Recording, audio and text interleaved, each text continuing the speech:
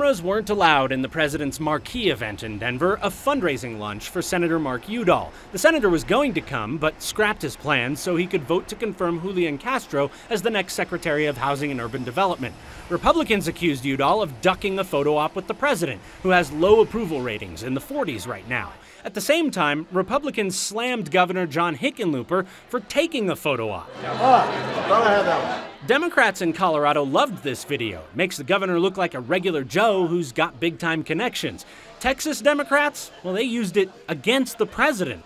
Congressman Henry Cuellar, a Democrat representing the Laredo area, bashed the president for declining to visit the U.S. Mexico border. If he had time, with all due respect, to have a beer, uh, play pool like he did in uh, Colorado last night.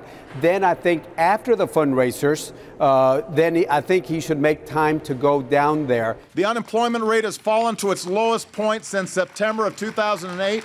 Here in Denver, the president made economic recovery the central focus of his speech in Cheesman Park, casting Republicans in Congress as an obstacle. I mean, the best thing you can say for them this year is they haven't shut down the government so far or threatened to go deadbeat on America's obligations. But it is still early, so. Republicans argue Democrats in the Senate are the obstacle, hoping to snatch the majority this November and put some GOP ideas on the president's desk.